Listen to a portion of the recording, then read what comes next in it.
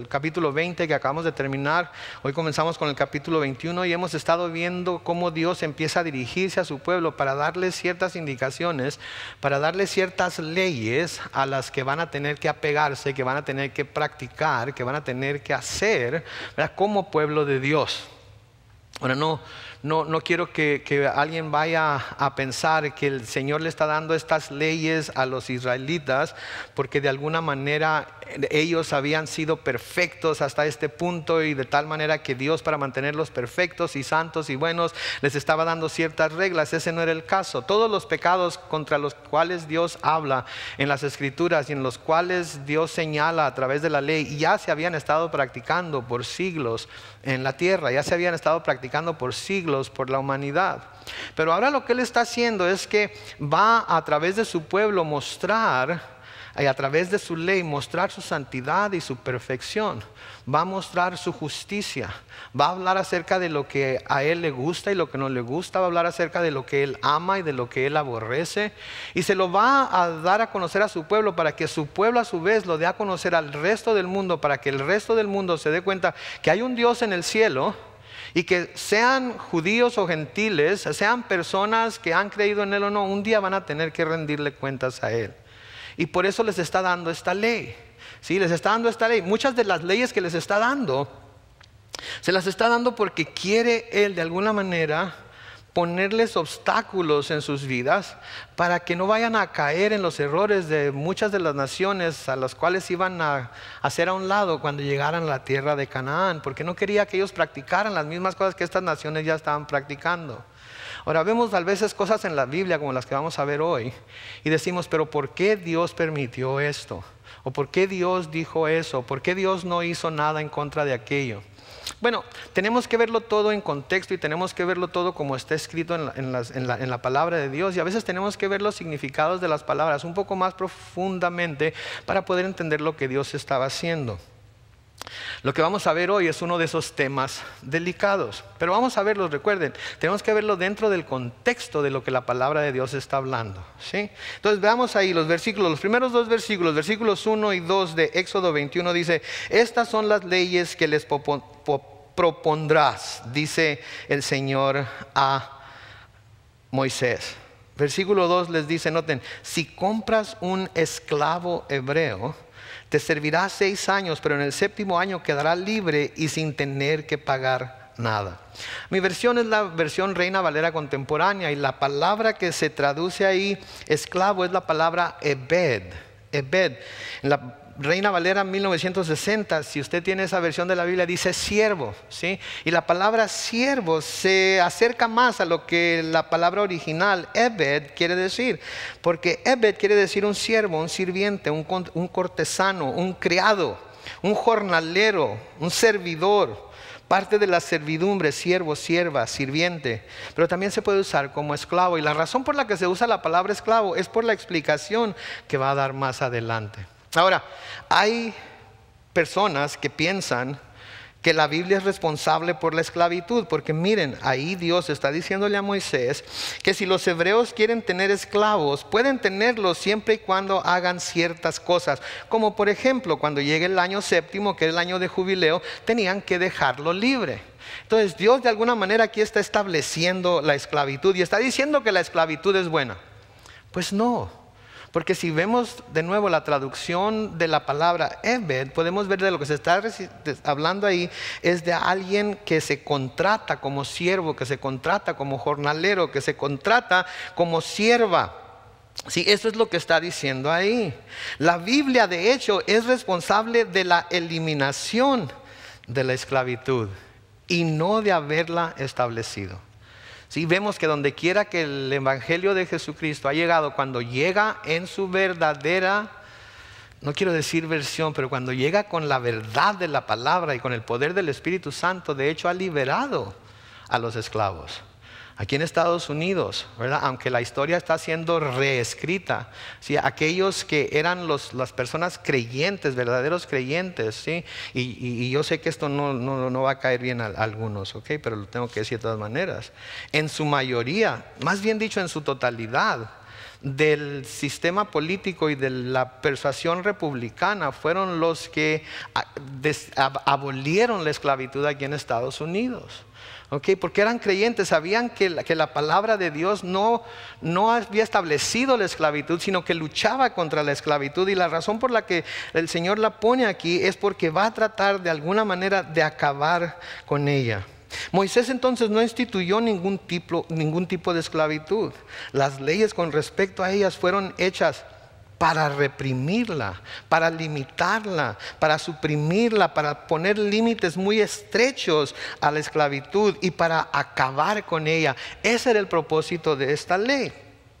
Es significante también ver que las primeras palabras de esta sección del libro de la ley que Dios presenta tienen que ver con la esclavitud y son para recordarle al pueblo de Israel que ellos mismos fueron esclavos en Egipto y que tienen que tratar con respeto y tienen que tratar con, con, cuidado a aquellos que de alguna manera van a tener que estar a su servicio.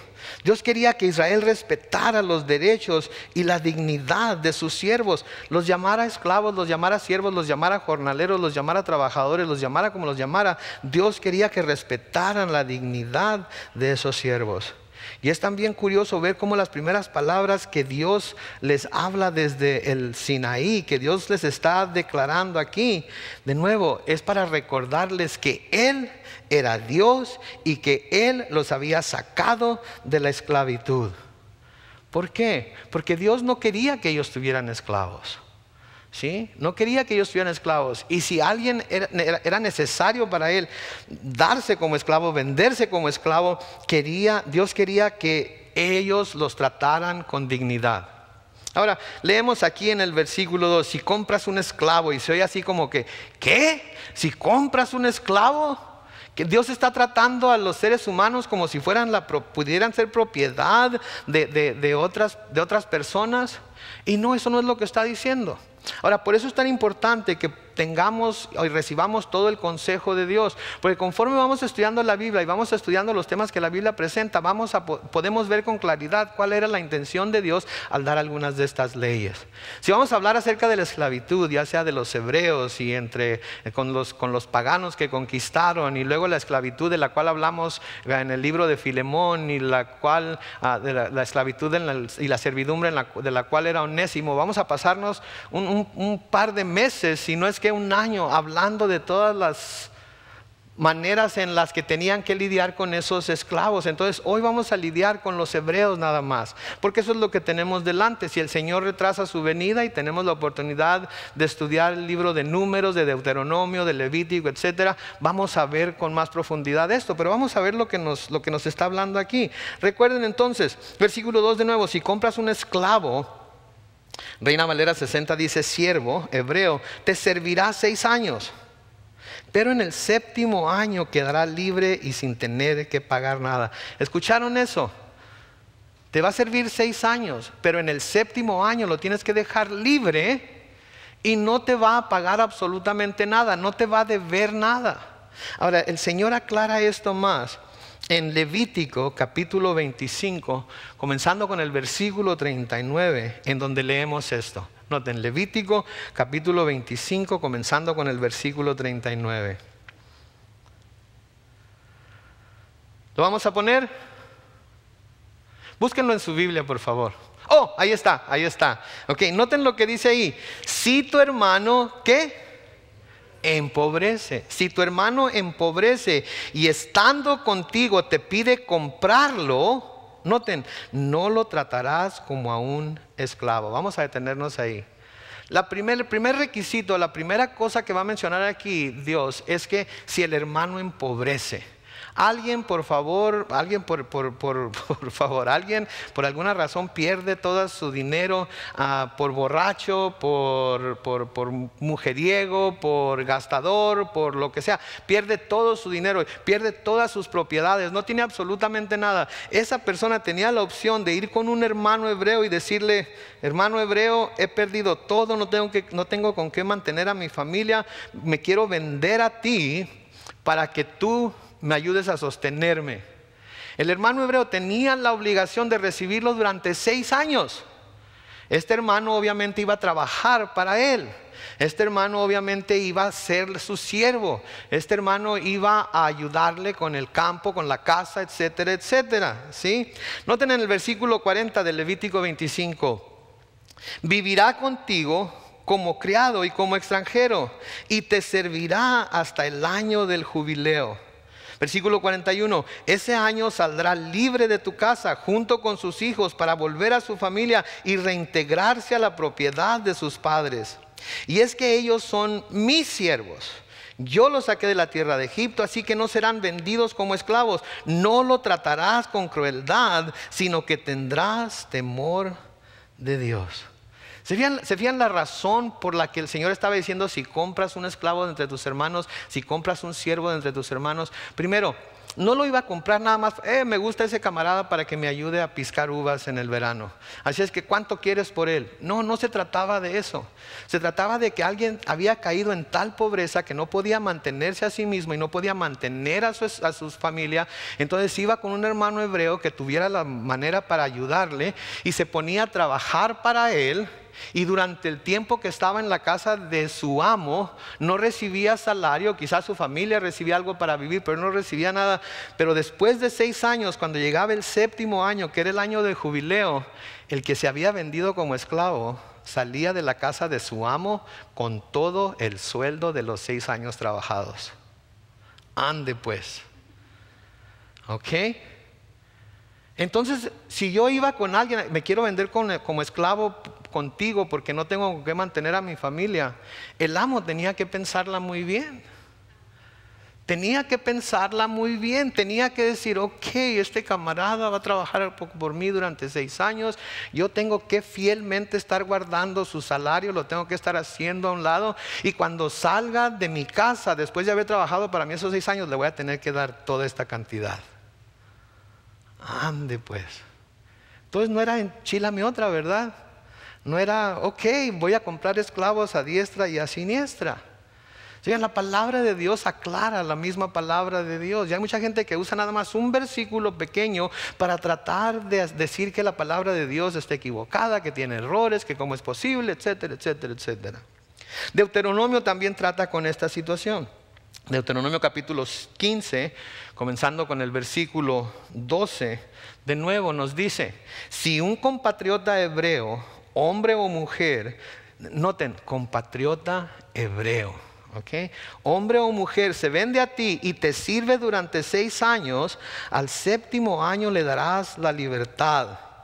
Pero al darle su libertad, noten por favor, no lo despedirás con las manos vacías, sino que lo abastecerás generosamente. ¿Se ustedes? Le vas a dar de tus bienes generosamente, dándole de tus ovejas, de tu trigo y de tu vino y de aquello con lo que el Señor te ha bendecido. Acuérdate, les dice en el versículo 15, de que fuiste esclavo en Egipto y que de ahí el Señor tu Dios te rescató. Por eso hoy te ordeno esto. Serían, tenemos que tener todo el consejo de Dios, tenemos que leer todas las escrituras. No podemos irnos y dejar que nos lleven como animal de carga, para que no se oiga tan feo, a creer lo que ellos quieran que nosotros creamos. Tenemos que conocerlo todo para que no nos engañen, para que sepamos de lo que se está hablando. Aquí entonces cuando alguien compraba un esclavo de entre su pueblo, cuando ese esclavo se iba de la casa del amo, se iba como con billetes. Se iba bien servido. De nuevo a su casa, de nuevo a su propiedad, de nuevo con su familia, de nuevo a, poder ser una persona productiva de la sociedad. Entonces no es la esclavitud como nosotros hemos visto la esclavitud aquí en Estados Unidos, no es la esclavitud como hemos visto la esclavitud en, en, México, no es la esclavitud como hemos visto la esclavitud en otras naciones. Es una esclavitud o una servidumbre que estaba diseñada para ayudar al pobre, para ayudar al pobre. Y, saben que esto debe ser un recordatorio para nosotros también. Aquí cuando el Señor les dice, acuérdate de que fuiste esclavo en Egipto y que de ahí el Señor tu Dios te rescató, por eso hoy te ordeno esto. Esto debe ser un recordatorio para nosotros también como cristianos. Porque, porque saben que nosotros en otro tiempo también fuimos esclavos del pecado, ¿no es cierto? Fuimos esclavos de este mundo, fuimos esclavos de Satanás mismo. Creíamos que nosotros estábamos haciendo lo que nosotros queríamos, creíamos que éramos libres y que lo que estábamos haciendo lo hacíamos porque nosotros queríamos, pero estábamos sujetos a Satanás, estábamos sirviendo a Satanás en nuestra vida pasada. Y el Señor nos ha liberado de esa esclavitud. Así es que, pregunta, ¿cómo debemos nosotros comportarnos hacia aquellos que todavía se encuentran en esa esclavitud al mundo, al pecado y a Satanás? Debemos de verlos con, compasión, debemos ser compasivos con ellos. Debemos demostrarles gracia, debemos demostrarles misericordia. Debemos de, de, demostrarles, de hablarles, de manifestarles el amor de Cristo. Pero a veces lo que hacemos es que juzgamos, a veces lo que hacemos es que señalamos con el dedo, a veces lo que hacemos es hablarles de lo justo que ahora somos. Pero no es mi justicia, es la justicia que Cristo ha impuesto sobre mí porque he creído en Él. Pero no es que yo sea justo, hay una falsa humildad ahí. Y tenemos que ver a los que todavía están esclavizados al mundo, al pecado y a Satanás con ojos, los ojos de Jesucristo. Sí, porque nosotros también estábamos esclavizados en un tiempo. Así es que nosotros también tenemos, como dice mi mamá, cola que nos pisen, ¿verdad? ¿Cuántos han dejado de pecar completamente? Ni un solo pecadillo. Ninguno. Sin embargo, vemos a alguien que tiene problemas con el alcohol, vemos a alguien que tiene problemas con adulterio, vemos a alguien que tiene problemas con drogas, vemos a alguien que tiene problemas con, ¿verdad? Comprar todo a crédito, ¿verdad? Este, y no pagar. Vemos, vemos a personas que tienen problemas de, comportamiento, vemos personas que tienen problemas mentales, que tienen ah, aflicciones y las juzgamos. Y hay muchas organizaciones religiosas, entre comillas, que desafortunadamente las juzgan y les dicen que están como están por falta de fe, que están como están porque no lo han, porque no lo han declarado y lo han agarrado, están como están porque, porque, porque no, etcétera, etcétera. Todo tipo de... No hay otra manera de llamarlas más que estupideces. ¿Sí? Pero tenemos que, tenemos que mostrar compasión, tenemos que mostrar gracia, tenemos que mostrar la misma generosidad, por así decirlo, que Dios mostró con nosotros al darnos a su Hijo unigénito, porque ahí mostró Dios su generosidad para con la humanidad. ¿Qué tan generoso fue? Que dio a su único Hijo para que todo aquel que en Él crea no se pierda, mas tenga vida eterna. Noten el versículo 3 ahí de Éxodo 21, dice, si el esclavo llegó solo, solo se irá. Si tenía mujer, se irán él y su mujer. Si el amo le dio mujer al esclavo y ella le da a este hijos o hijas, la mujer y los hijos serán del amo y el esclavo se irá solo. Si el esclavo dice, escuchen esto, yo amo a mi Señor y mi mujer y mis hijos, no quiero quedar libre. ¿Ok? El esclavo se da cuenta que en toda su vida, esos seis años que le sirvió a este amo, fue cuando mejor le ha ido. Le dio una mujer hermosa, le dio una mujer que le ayuda. A través de esa mujer ha tenido hijos. Ah, el, amo lo ha tratado bien, le ha pagado lo que es justo. No, no, no lo ha azotado, al contrario, lo ha tratado bien y, ha podido salir de la pobreza. Entonces, esta persona tenía, tenía la, la opción de decir: Noten, amo a mi Señor. Había aprendido a amarlo. Había aprendido a amar a esta persona que le había extendido la mano, que había accedido a comprarlo, que había accedido a abrirle las puertas de su casa para que ahí en esa casa pudiera él restaurarse, para que ahí en esa casa pudiera él volver a adquirir bienes, para que ahí en esa casa pudiera tener esposa, pudiera tener hijos, etcétera, etcétera. Entonces ahí en el versículo 5 de nuevo el esclavo puede decir, yo amo a mi señora, a mi mujer y a mis hijos, no quiero quedar libre. Aquí me quedo. Me está yendo bien. Cuando andaba allá afuera gasté todo, andaba de borracho, andaba de esto, andaba de todo aquello. Mi, amo me ha ayudado a entender ¿verdad? ¿Cuál qué, es un verdadero hombre? ¿Cómo debe de comportarse? ¿Cómo debe de suplir para su familia? ¿Cómo debe de trabajar? Y me ha hecho un hombre de bien. ¿Saben qué? Yo amo a mi Señor por lo que Él ha hecho y yo no quiero quedar libre. Versículo 6, noten lo que dice, entonces su amo lo llevará ante los jueces, lo pondrá junto a una puerta o poste y le horadará la oreja con una lesna. Así el esclavo quedará siempre a su servicio. Noten, ¿qué hacían? Le hacían un agujero en el oído y le ponían un arete. ¿Ok? Así es que todos los que se ponen arete, ¿qué son?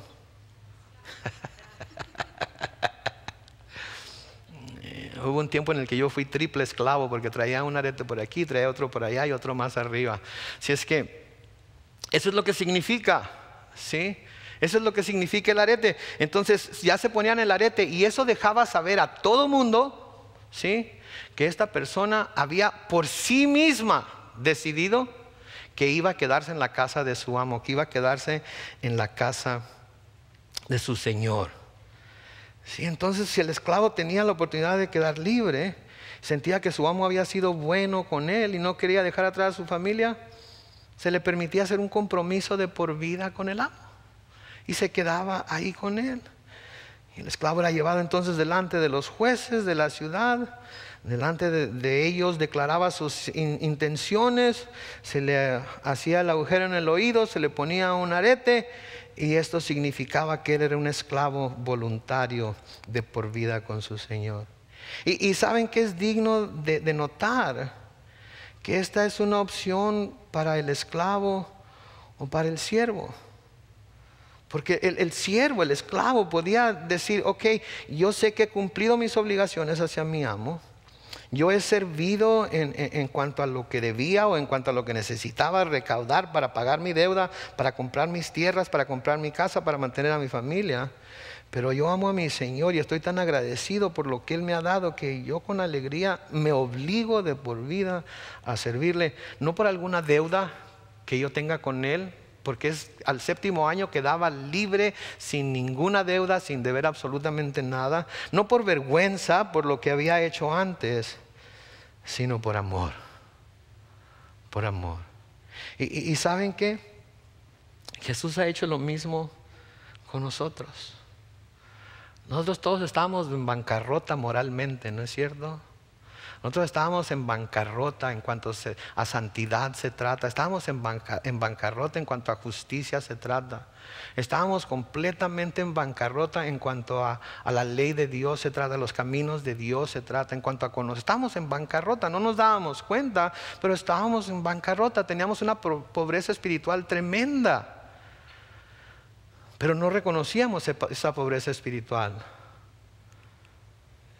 Es cuando se reconoce la pobreza espiritual que entonces Dios, por medio de Jesucristo, nos enriquece y nos ayuda a tener todos los beneficios espirituales que nuestra fe en Él traen. Pero mientras no lo reconozcamos, estamos pobres espiritualmente hablando y no tenemos manera de salirnos del agujero en el que nos hemos metido. Pero Jesús, Jesús nos ha tomado nos ha liberado de la deuda de pecado que teníamos, nos ha dado el derecho de ser llamados hijos de Dios. Y ahora saben que nosotros, como el esclavo este del que estamos hablando, tenemos también la opción de decir yo amo a mi Señor y quiero servirle para el resto de mis días. Yo me doy cuenta que lo que mi Señor ha hecho para mí me sacó del lodo cenagoso yo me doy cuenta que lo que ha hecho el Señor para mí es abrirme los ojos a la vida que estaba llevando, que me iba a llevar finalmente a la condenación eterna, pero que ahora por haber venido a Él y haber clamado a Él, Él me ha perdonado y me ha abierto las puertas del cielo para que cuando yo muera o Él venga por su pueblo pueda estar con Él para siempre. Nos ha liberado entonces de la esclavitud al pecado, nos dio el derecho de ser llamados hijos de Él pero también nos da la opción de que nosotros mismos nos, llamemos sus siervos, de que nosotros voluntariamente nos hagamos sus siervos. Él nos ve como amigos, Él no nos ve como siervos, porque Dios, el Señor no va a obligar a ninguno de todos ustedes, el Señor no me obliga a mí a que le sirvamos. Tiene que ser algo voluntario. hay mucha gente que quisiera que el Señor los obligara a servirle. Porque hay en su corazón el deseo quizás de servir, pero no hay el valor. Quizás se sienten inadecuados, quizás sienten que no tienen lo que se necesita, quizás piensan que Dios no les ha dado dones que pudieran usar para la honra y gloria del Señor. Déjenme decirles que a todos aquellos que el Señor ha salvado, a todos nos ha dado dones que podemos usar para su honra y su gloria. Pero tenemos que estar dispuestos a hacerlos. Él no nos va a obligar.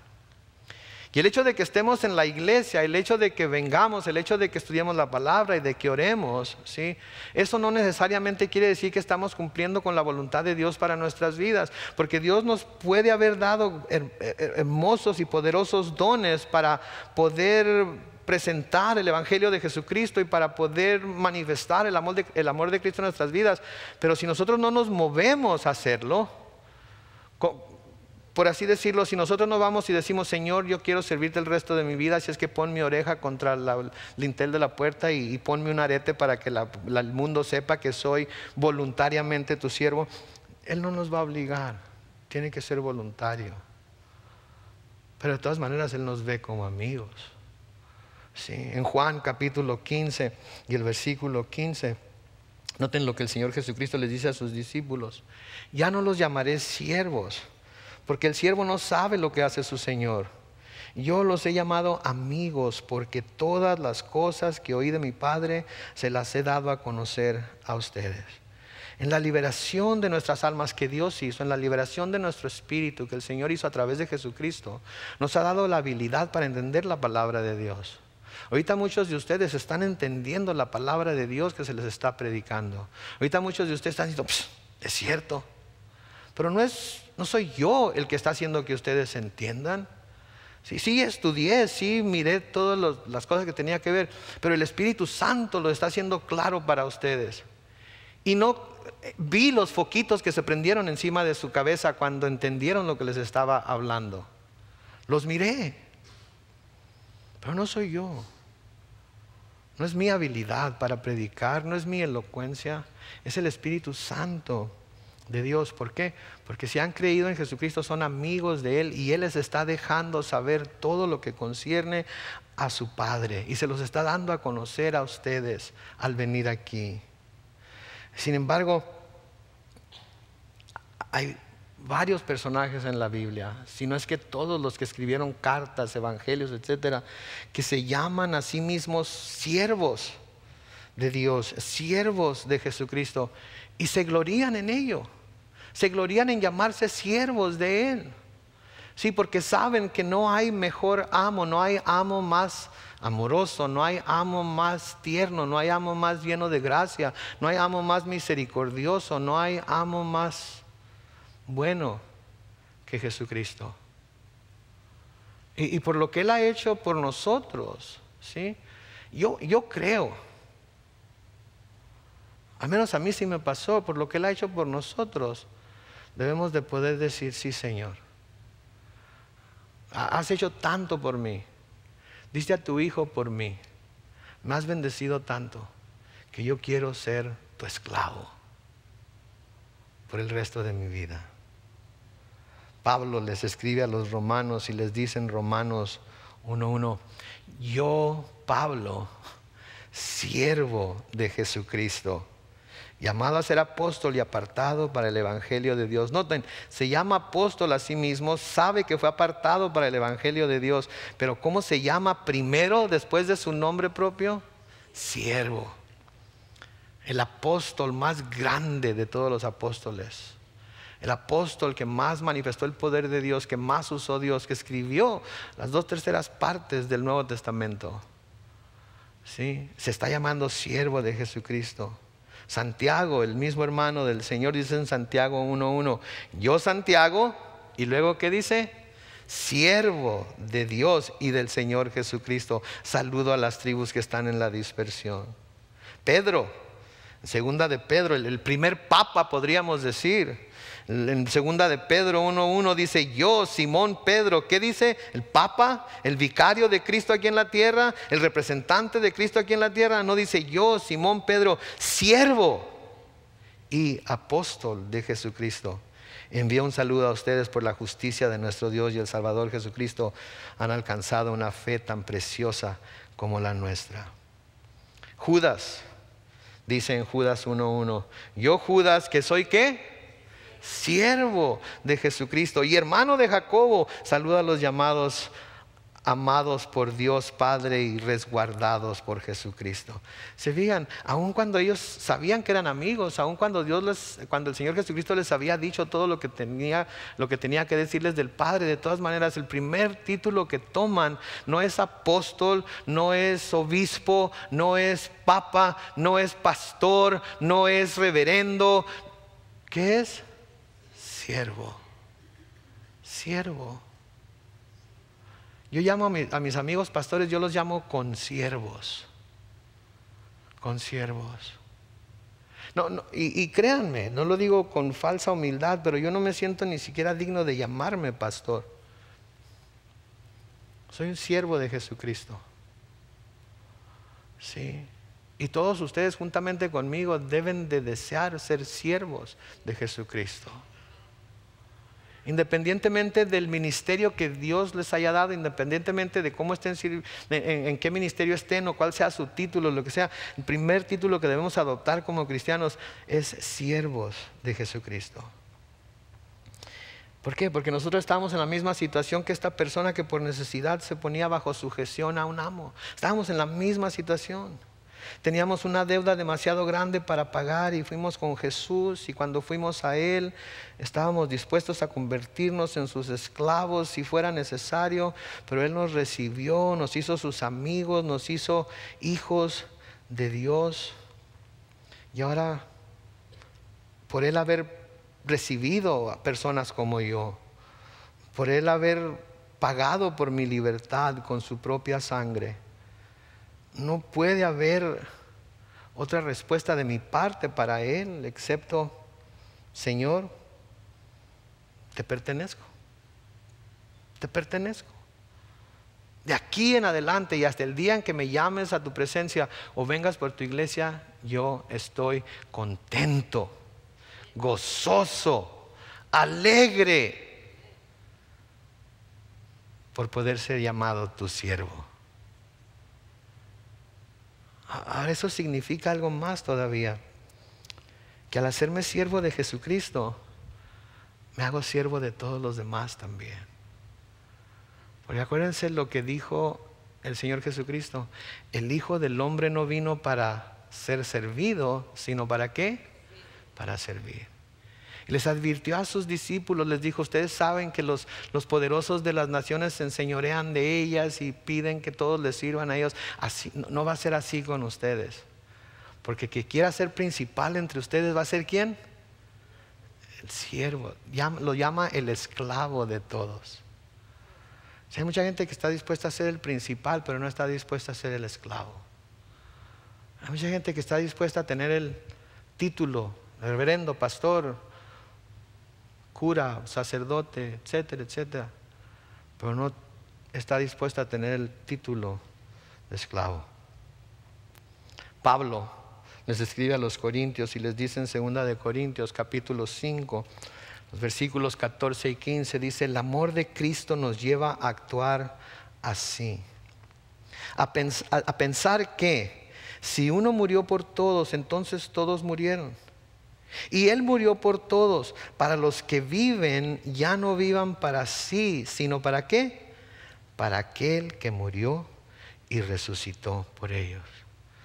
Sean ustedes, eh, eh, hemos llegado a la conclusión, dice Pablo aquí, por el amor que Cristo ha manifestado por nosotros, hemos llegado a la conclusión, ¿sí? que si Él murió por todos nosotros. Entonces, cuando Él murió por todos nosotros, nosotros morimos con Él.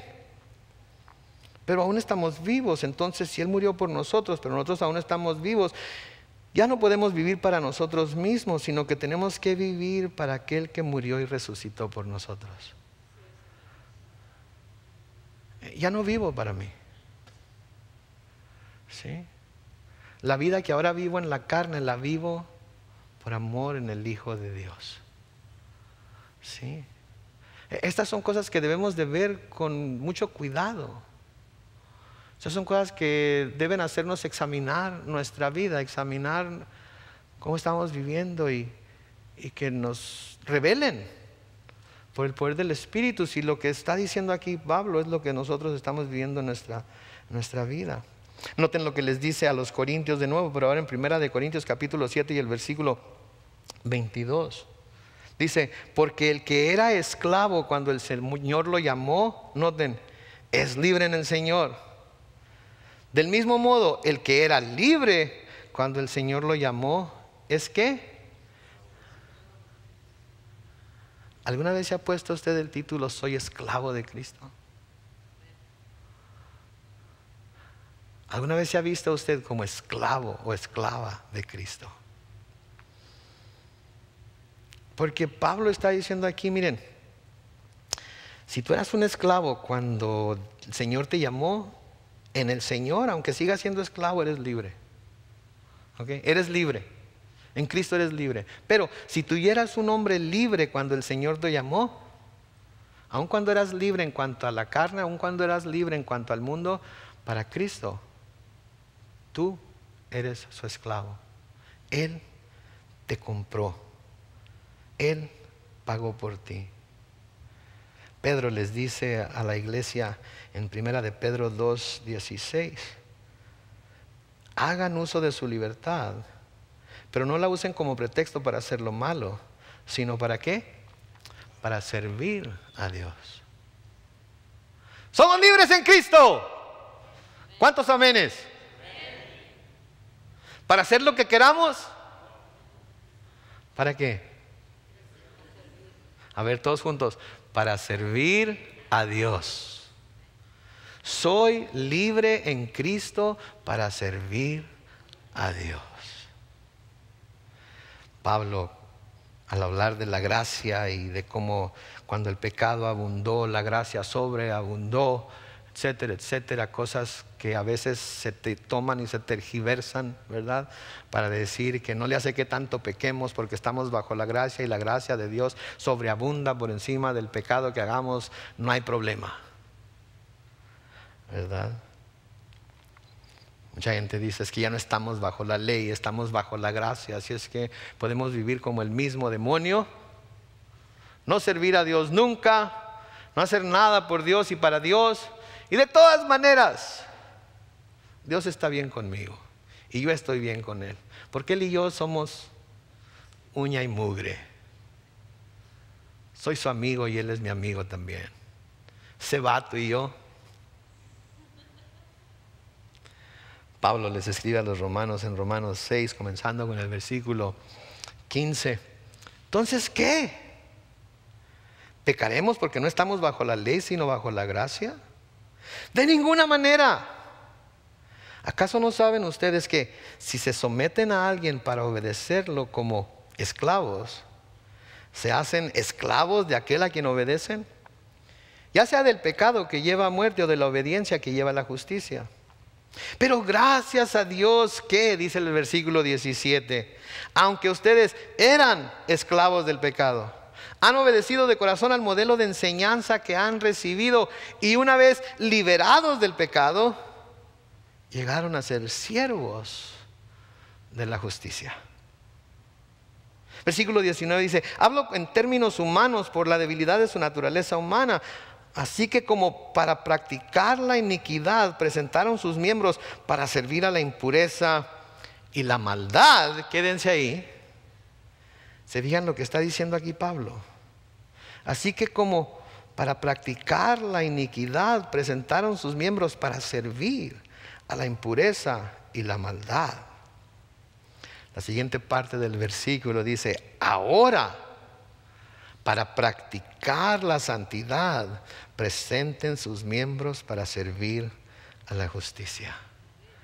Sigan lo que está diciendo Pablo. Así con aquel abandono, así con aquella pasión, así con aquel amor, que, se, que, tenían para servir al pecado, para seguir la maldad, para hacer lo injusto. Así ahora, con esa misma pasión, así con ese mismo abandono, así con ese mismo amor, ahora para practicar la santidad, presenten sus miembros para servir a la justicia. Versículo 20 de Romanos 6 dice, cuando ustedes eran esclavos del pecado, eran libres en cuanto a la justicia. Pero ¿qué, qué provecho sacaron de eso? Ahora ustedes se avergüenzan de aquellas cosas, pues conducen a la muerte. Pero como ya han sido liberados del pecado y hechos siervos de Dios, el provecho que obtienen es la santificación, cuya meta final es que la vida eterna. Porque la paga del pecado es, pero la dádiva de Dios es vida eterna en Cristo Jesús nuestro Señor. Éramos esclavos del pecado. Éramos esclavos de la iniquidad. Éramos esclavos de la maldad. Servíamos al príncipe del poder del aire. No, nos gustaba reconocerlo, no queríamos decir que eso era verdad. Todavía sentimos así como que, yo no. Pero sin Cristo eso es exactamente lo que estábamos haciendo. Pero Él pagó la deuda que teníamos. Él pagó la paga del pecado cuando permitió que lo clavaran en esa cruz, cuando permitió que lo azotaran, que lo escupieran, que le pusieran la corona de espinas, que lo golpearan con varas, que se burlaran de él, que lo desnudaran, que lo levantaran sobre esa cruz y le gritaran injurias y le dijeran a otro salvó, ¿por qué no se salva él mismo? Y cuando gritó Eloí, Eloí, lama sabactani, dijo, déjenlo, está llamando Elías, vamos a ver si Elías viene y lo baja de la cruz. Todo eso lo sufrió por ustedes y por mí. ¿Y saben qué digo yo hoy? Señor, toma mi oreja. Señor, toma la lesna más grande que tengas Pon mi oreja sobre el dintel de la puerta de tu santo templo y márcame. Márcame como tu siervo, márcame como tu esclavo de aquí y hasta que entregue el Espíritu. O de aquí hasta que tú vengas por tu iglesia. Porque ante mis ojos, Él no merece menos que eso de mí. Les dejo que ustedes decidan lo que ustedes van a hacer. Pero en cuanto a mi casa y yo, serviremos al Señor. Amén.